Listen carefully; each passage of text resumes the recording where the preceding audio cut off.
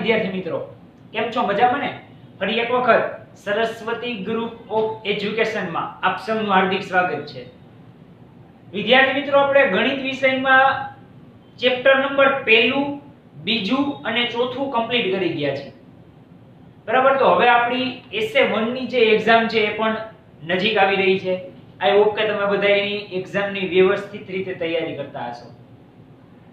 તો વિડિયો આપણે કઈ રીતના જે એક્ઝામ હશે, એની પેટર્ન શું હશે? પેપર કઈ રીતના હશે? એના માટે બાળકો, આપણે આજથી રિવિઝન લેક્ચર્સ ચાલુ કરેલા છે. બે રિવિઝન લેક્ચર આવશે.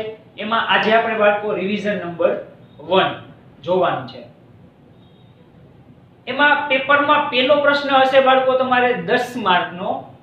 નીચે આપેલા પ્રશ્નોના જવાબ વિકલ્પમાંથી શોધીને લખો. એટલે આવી રીતના એક વિકલ્પ હશે. તમે જાણો છો, આ પરીક્ષા મેં ઓલરેડી આની પહેલા પણ, એટલે કે FA1 ની એક્ઝામ પણ આપી દીધેલી છે. દર વખતની જેમ, બાળકો, આ એક્ઝામ પણ આપણે ઓનલાઈન કન્ડક્ટ કરવાના છીએ. તો હવે એનાથી તો તમે પરિચિત જ છો, એટલે મારે એમના વિશે વધારે કાંઈ માહિતી દેવાની જરૂર નથી. ઓકે જે લિંક આવશે પેપરની એના ઉપર ક્લિક કરશો એટલે આખું પેપર ઓપન થઈ જશે. ઓકે તો એ પેપર ઓપન થઈ ગયા બાદ પહેલો જ પ્રશ્ન આપણો હશે કે નીચે આપેલા પ્રશ્નોના વિકલ્પમાંથી જવાબ શોધીને લખો. ઇન શોર્ટ એમસીક્યુ શોર્ટમાં કહું ને તો. ઓકે તો આવી રીતના એમસીક્યુ હશે. અલગ અલગ પ્રકારના ચારે ચાર ચેપ્ટરમાંથી હોઈ શકે. એ તમારે એના જવાબ, જે સાચો જવાબ હોય, એના ઉપર ક્લિક કરીને જવાબ દેવાનો છે. ઓકે તો બાળકો, આજે આપણે ચાલુ થોડુંક રિવિઝન કરીએ. પહેલેથી બધા ચેપ્ટરનું, પહેલું ચેપ્ટર આપણું કયું હતું? રાષ્ટ્રીય ફળ કેરી. ઓકે ત્યારથી બધા ચેપ્ટરનું આપણે ત્રણે ત્રણ ચેપ્ટર છે એનું રિવિઝન કરીશું ઓકે ચાલો, પહેલો પ્રશ્ન જુઓ જવાબ આમાં તમે ગેસ કરતા રહેજો. રાષ્ટ્રીય ફળ કયું છે? સામે તમને ચાર ઓપ્શન આપેલા છે, તરબૂચ, કેરી અનાનસ મોસંબી. સાવ સિમ્પલ પ્રશ્ન. આપણા ચેપ્ટરનું નામ આવડે એટલે આ પ્રશ્ન આવડે. રાષ્ટ્રીય ફળ, કેરી. રાષ્ટ્રીય ફળ કયું છે આપણું? કેરી. તો આમાં જવાબ શું આવશે? યસ બી કેરી. ઓકે? જવાબ છે એના ઉપર ગોળ રાઉન્ડ કરતો જાઉં છું. એટલે તમને આઈડિયા આવે આમાં કયો જવાબ છે. નેક્સ્ટ એમસીક્યુ નંબર 2 કેરી માટેનું પ્રખ્યાત સ્થળ તાલાળા કયા રાજ્યમાં આવેલું છે? સ્વાભાવિક છે આપણે ગુજરાતમાં જ આવેલું છે. ગીરની નજીક. ઓકે? એટલે જવાબ કયો આવશે એમાં? ગુજરાત સી. રાજસ્થાન, મધ્યપ્રદેશ, કર્ણાટક, અહીંયા ક્યાંય આવેલું નથી. જો તમને કેરી ચેપ્ટરનો એટલે કે ચેપ્ટર નંબર પહેલાનો લેક્ચર નંબર વન યાદ હોય હજુ, તો એમાં આપણે એ માહિતી આપેલી હતી કે તાલાળા છે એ ગુજરાતમાં આવેલું છે. ઓકે એમાં જવાબ આવશે સી, ગુજરાત. નેક્સ્ટ જોઈએ આપણે બાળકો એમસીક્યુ નંબર 3 7 લાખ 50 ને અંકમાં લખો. અહીંયા તમને એક રકમ શબ્દોમાં આપેલી છે. 7 લાખ 50 ઓકે. તો એ ખબર હોવી જોઈએ. લાખ આપેલું છે, તો આમ ગણતા જવાનું. ચાલો આ ગણીએ. એકમ દશક સો કહ્યું એકમ દશક સો હજાર, નો આલે. એકમ દશક સો હજાર દસ હજાર, નો આલે. કેમ કે અહીંયા તો લાખ છે. ઓકે, તો આ એક ઓપ્શન જ વૈધો ગણો. એકમ દશક સો હજાર દસ હજાર ને લાખ. ઓકે, ઈ થઈ ગયું. હવે સંખ્યા જુઓ. આ સંખ્યા મેચ આવી છે. પણ સાત લાખ પચાસ એટલે એવી રીતના છે તો કે હા, સાત લાખ ને પચાસ. ઓપ્શન એ એક જ મેચ થાય છે. બીજા કે મેચ થતા નથી. ઓકે તો એનો જવાબ આવશે એ, સાત લાખ પચાસ. ચાલો. નેક્સ્ટ બાળકો, જુઓ એમસીક્યુ નંબર ચાર. આકૃતિ ઓળખો. આપેલી આકૃતિ કયા આકારની છે? હવે તો તમને આવડે છે આકૃતિ કયા આકારની છે. કેટલા ખૂણા છે? જો તો કે આમાં ત્રણ ખૂણા મને દેખાય છે. જો આ એક, આ બે અને આ ત્રણ. ત્રણ ખૂણા હોય બાળકો, એને શું કહેવાય?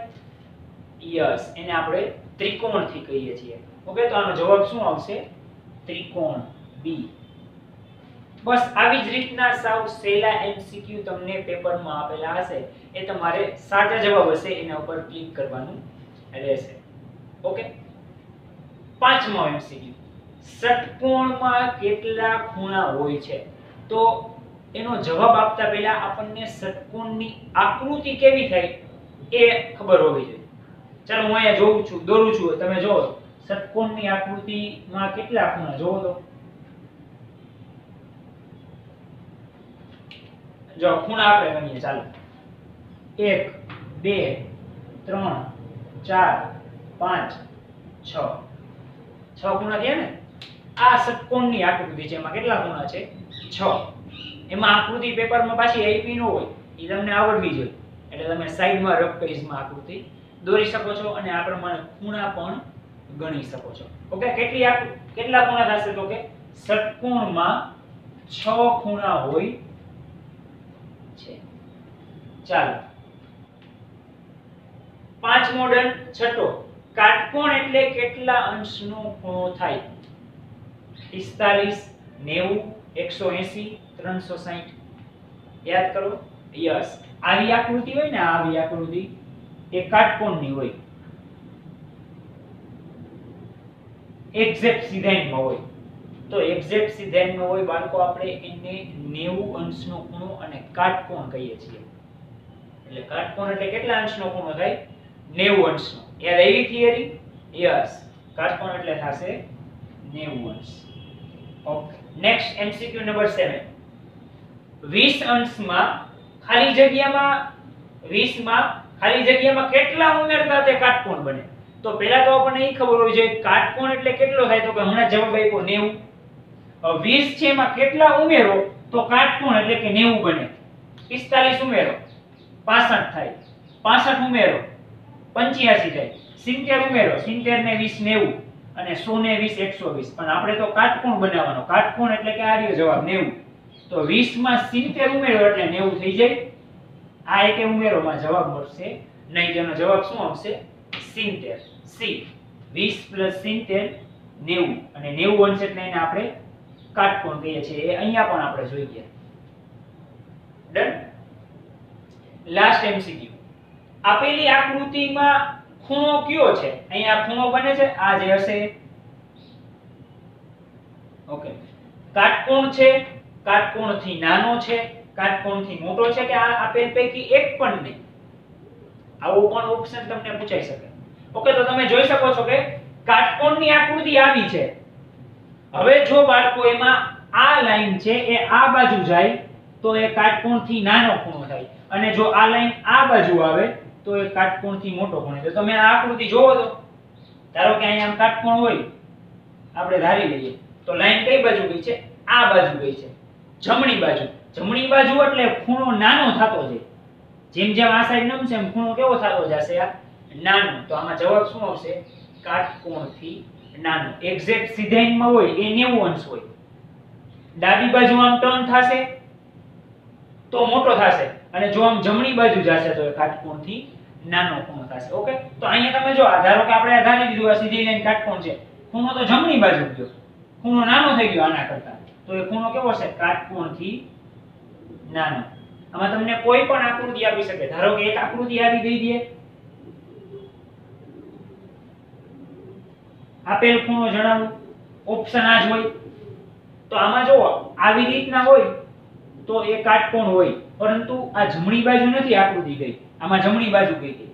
જો આ લાઈન આમાં ડાબી બાજુ આવી તો આ ખૂણો કાટકોણ કરતા મોટો થઈ ગયો. તો આવી આકૃતિ હોય જો આ આ લાઈન ડાબી બાજુ આવતી હોય, તો એમાં જવાબ કાટકોણથી મોટો આવે.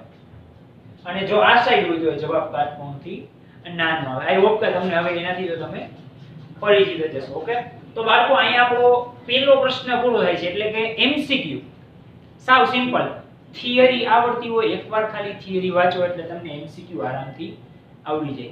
ઓકે તો બાળકો આઠે, આઠ એમસીક્યુ એક વખત તમારી બુકમાં નોટ ડાઉન કરી લ્યો.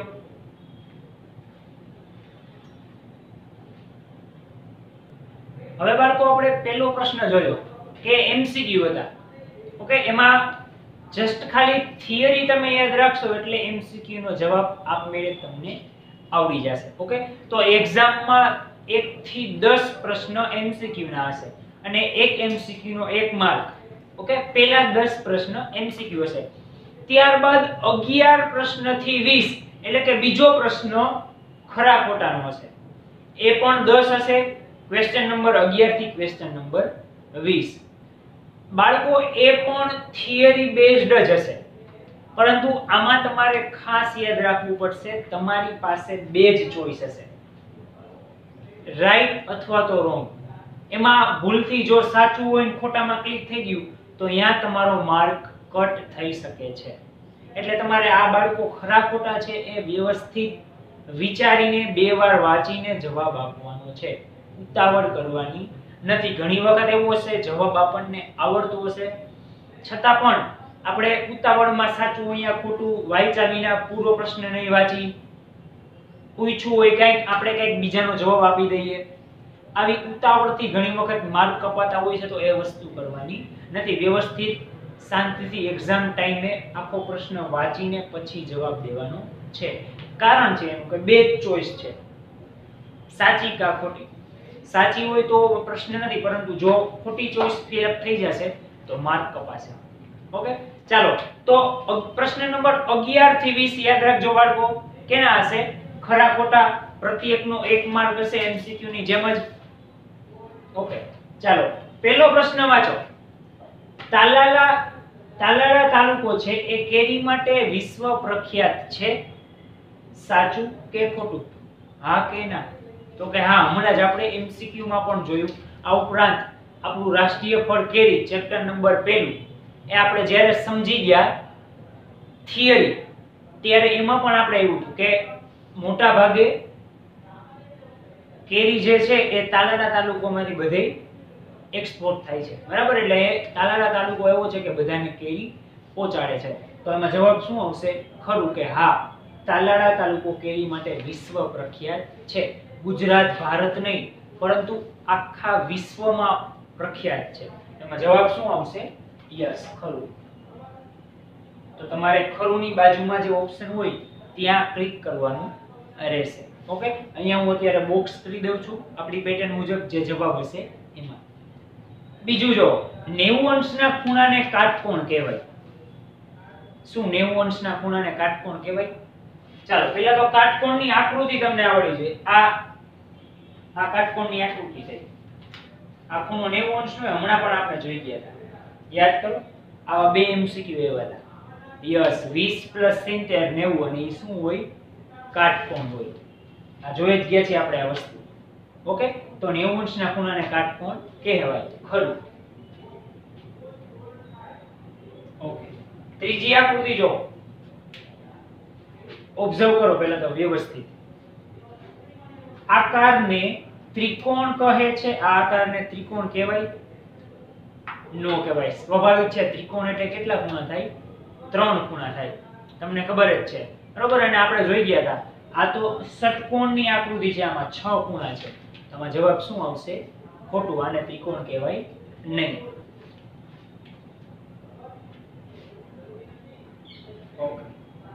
આકૃતિ નંબર 4 જો ચોરસમાં પાંચ ખૂણા હોય છે. ચોરસ હોય એમાં પાંચ ખૂણા હોય. તો પહેલા આપણે કઈ નહીં કરવાનું. સિમ્પલ સાઈડમાં રફ પેજ હોય ચોરસ દોરી લેવાનું. ચોરસ તો આપણને આવડતું જ હોય, હવે ખૂણા ગણી લ્યો, કેટલા ખૂણા થાય છે? આ એક, બે, ત્રણ, ચાર. ચાર જ થયા પાંચ થતા નથી. એનો મતલબ આ વિધાન ખોટું છે. શું છે? ખોટું. તો ચોરસમાં પાંચ ખૂણા હોય જવાબ શું આવશે? ખોટું. ચાર જ ખૂણા હોય. પાંચ હોતા નથી. ઓકે. લાસ્ટ જો એક કિલો ડુંગળીનો ભાવ રૂપિયા પચાસ હોય તો એકના છેદમાં બે એટલે અડધો કિલોનો ભાવ પચીસ થાય. પચાસ ના અડધા, પચીસ સ્વાભાવિક જ છે. પચાસ છે, એના અડધા કેટલા થાય? પચીસ, અહીંયા એકના છેદમાં બે કિલોનું પૂછ્યું છે. તો પચીસ થાય? હા, ખરું છે. ઓકે, અહીંયા બીજી કોઈ પણ રકમ હોઈ શકે બાળકો. 60 હોય તો અહીંયા 30 આવે. 80 હોય તો 40 આવે. પણ અહીંયા સો હોય ને અહીંયા 40 હોય તો એ ખોટું થાય. કારણ કે 100 ના અડધા 50 થાય. અહીંયા અડધો કિલો પૂછી છે એટલે જો અહીં એકના છેદમાં ત્રણ હોય તો પાછો ત્રીજો ભાગ થઈ જાય. 90 હોય તો એનો ત્રીજો ભાગ 30 થાય. એવી રીતના. 45 હોય તો ત્રીજો ભાગ 15 થાય. એટલે એ તમારે ગણતરી કરવી પડે. ઓલરેડી આપણે આ વસ્તુ, આ ચેપ્ટર ચાલતું હતું ત્યારે વ્યવસ્થિત રીતે કરાવેલું જ છે. ઓકે તો જસ્ટ તમને પાછું રિવાઇઝ થઈ જાય. ચાલો, અહીંયા આ પ્રશ્ન પણ પૂરો. આપણે 1 થી 10 એમસીક્યુ કર્યા. 11 થી 20 ખરા ખોટા કર્યા. હવે આવશે બાળકો, પ્રશ્ન નંબર 21 થી 24 ઓકે તો એમાં શું હશે? આપેલા કૌંસની મદદથી ખાલી જગ્યા પૂરો, આવી બે ખાલી જગ્યા હશે. 21 થી 24 25 થી 28 ઓકે હવે એમાં ઓલરેડી તમને અહીંયા કૌંસમાં ચાર ઓપ્શન આપેલા જ છે એ બી સી અને ડી એમાંથી જ આમાં જવાબ હશે ચારે ચારમાંથી. આ ચારમાંથી જ કોઈ પણ એક જવાબ હશે. અને એ જવાબ ઓલરેડી તમને ઉપર કાઉન્સમાં આપી દીધેલા જ છે. એટલે હિટ તો તમને મળી જ ગઈ છે કે જવાબ આમાં શું આવે. ઓકે તો આ કૌંસ વ્યવસ્થિત પહેલા જોઈ લેવાનો, પ્રશ્ન વાંચી લેવાના, પછી જવાબ દેવાનું સ્ટાર્ટ કરવાનું. ઓકે ચાલો. પેલો આપણે જોઈએ હાઈકુની પ્રથમ હરોળમાં કેટલા અક્ષર હોય છે? હવે આ હાઈકુ પણ બાળકો આપણે આવતું ચેપ્ટર નંબર પહેલામાં.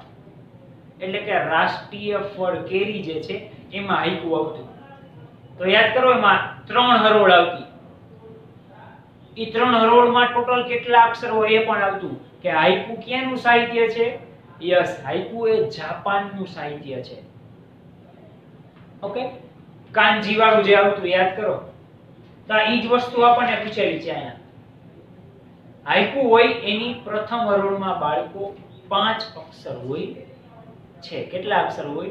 પાંચ. તો અહીંયા હાઈકુની પ્રથમ હરોળમાં કેટલા અક્ષર હોય? પાંચ. ચાલો. અહીંયા આપણે ત્રણ કરી નાખીએ.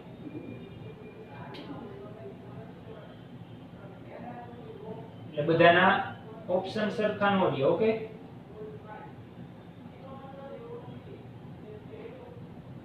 ચાલો. હાઈકુની દ્વિતીય હરોળમાં કેટલા અક્ષર હોય છે? યાદ કરો, પ્રથમ હરોળમાં કેટલા અક્ષર હોય? પાંચ. દ્વિતીય હરોળમાં કેટલા હોય? યસ. સાત અક્ષર હતા. આપણે તમને યાદ કરાવેલું હતું. પાંચ પ્લસ સાત પ્લસ પાંચ. બરાબર તેર. એટલે કે ટોટલ અક્ષર કેટલા હોય છે? તેર. ઓકે? હાઈકુની પ્રથમ હરોળમાં પાંચ, દ્વિતીય હરોળમાં સાત અને તૃતીય હરોળમાં પાંચ એટલે ટોટલ સત્તર અક્ષર હોય. ઓકે દ્વિતીય હરોળ પૂછ્યું છે. દ્વિતીય હરોળમાં કેટલા હોય બાળકો? સાત અક્ષર. ડન ચાલો નેક્સ્ટ હાઈકુની તૃતીય હરોળમાં કેટલા અક્ષર હોય છે? તો તૃતીય હરોળમાં પણ કેટલા અક્ષર હોય? પાંચ. કારણ કે હાઈકુ માટે યાદ કરો, આવો નિયમ હતો. 5 7 5 બરાબર 17 આવું થાય? 5 ને 5 10 ને 7 17 આ હાઈકુ માટેનો નિયમ હતો. આવી રીતના અક્ષર હોય, પહેલી હરોળમાં 2 5 બીજી હરોળમાં સાત, ત્રીજી હરોળમાં પાંચ અને ટોટલ 7 17 તો જ એ હાઈકુ કહેવાય. બાકી એને તમે એ સાહિત્યને હાઈકુ કહી શકો નહીં. ઓકે? હાઈકુમાં કુલ ખાલી જગ્યા અક્ષર હોય છે. હવે તો તમે જાણો જ છો. અહીંયા પણ લખેલું છે હાઈકુમાં ટોટલ કેટલા અક્ષર હોય? સત્તર 17 અક્ષર હોય. છે. ઓકે, તો બાળકો અહીંયા આપણો, આ પણ પ્રશ્ન કમ્પ્લીટ થાય છે. તો બંને પ્રશ્ન પ્રશ્ન નંબર 2 અને 3 એક વખત તમારી બુકમાં નોટ ડાઉન કરી લ્યો